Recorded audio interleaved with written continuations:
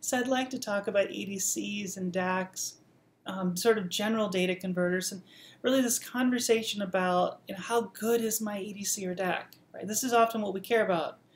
Um, we often get hold of a hold of a device and it says, "Oh, look, it's a 10-bit resolution device, or it's a 12-bit resolution device, or 18-bit resolution device," and we think that's got to be good. Well, it turns out resolution is an interesting term that means one thing. How many input bits or output bits do I have? It doesn't say anything else. That's why people like this term a bit, because it doesn't say anything else other than, okay, here's the IOs that I've got to work with. What the user really asks is like, well, how accurate is it actually, right? And this is the term that's often used, the term that's used is linearity, okay?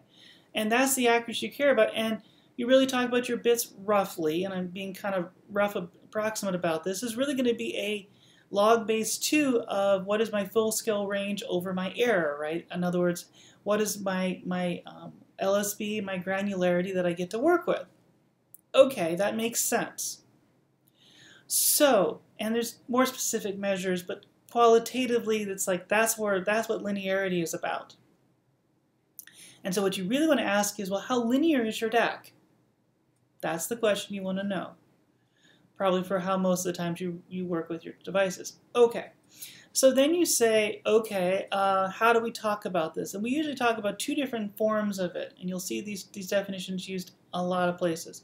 One, which is called integral nonlinearity which is really, you know, basically this is really the difference between the ideal sort of finite resolution and the actual measured structure. So this is what you typically expect. You typically will qualify this in either percent, maybe, but more than likely in, in the least significant bit of the converter you're working for. And this is the way you typically will think about the issue. So INL is typically how far off are you from the ideal characteristic. And DNL is differential nonlinearity. It basically says how much error is there between the steps. So if I have, I go between one position and I go from the next the next piece of the bits in the resolution, what is that error? And of course, that should always be one LSB, but how far off is it from one LSB exactly? And so this is always interesting to talk about, and I, I want to kind of just walk through some various pieces of things that you see with these curves, because these get used all over the place. And I really do appreciate many of these curves came originally from Phil Allen's notes um, two decades ago as he was writing his second edition of his book. So um, I just want to give credit where credit is due uh, for these four figures in here. Uh, he did such a good job, so might as well do that.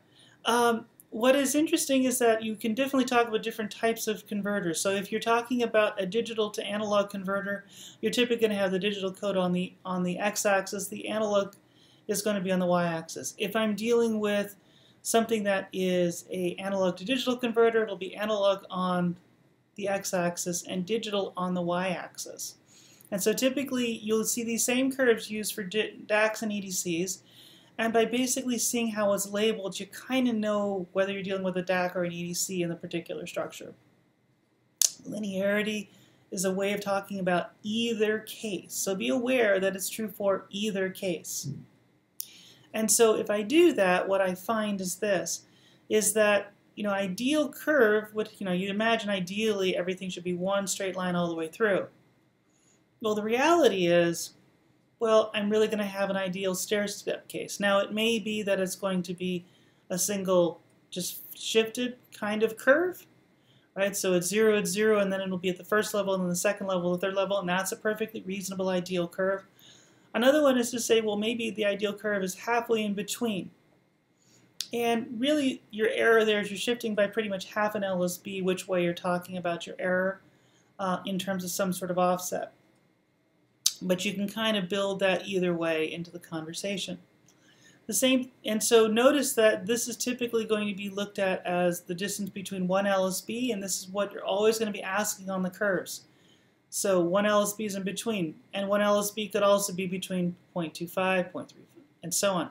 And so you can see different ways of measuring it. You want to be specific on how you're approaching it, but this is the way that you would talk about it. Now, and then the flip side is true whether it's an analog element in and digital out. And, and again, you have one LSB, you can take things through the middle, or you can take things shifted over by one. Different ways, different approaches. One of the things that you notice is that if you talk about, you know, in terms of the analog structure, one is the quantized noise.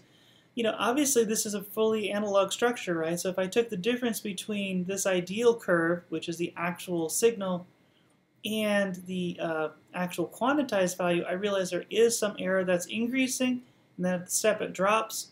And so I see it's going back and forth through here in terms of its error.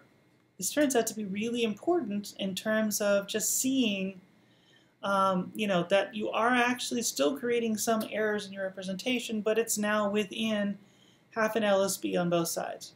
And this is what you'd want to expect for a data converter of a certain resolution, of a certain precision. Okay. And sometimes then we'll talk about what is the what is the error from this absolute ideal quantized curve, or it is from the original analog value. And you can talk about those, um, again, you want to be precise. And what you might find is there's some very specific errors that will show up. So for example, imagine my actual characteristic look like this particular line, uh, whereas the you know, ideal curve we can see here, and here's where your ideal characteristic might be. Again, looks kind of like this level shifted down curve like here. What's the difference between the two? Well, basically it just looks like this thing had an offset and shifted up by one amount in terms of the DAC. So it might have meant that there was an offset. Like in your circuit, there might have been some extra voltage offset in there. Well, again, if I have a voltage offset, that is an error, and that is going to give me an INL error. By the way, the, the DNL error is basically nothing but the INL error is a fixed value. And it's important to get a sense of the kinds of errors because if it's a constant offset, I could probably correct for that like somewhere else in my circuit. I could correct for it very simply by just changing my code by, well, let me think, by maybe a fact by just one here, right? Because, you know, one, one and a half. Okay, that's a straightforward thing. Um, a different kind of curve might be, oh, look, that this is the actual line, but it actually turns out it's going a little faster. So something we call a gain error. So the LSB is changing. So we'll see this in a couple different ways in the INL and DNL curve. What you see is the INL will continue to increase with code,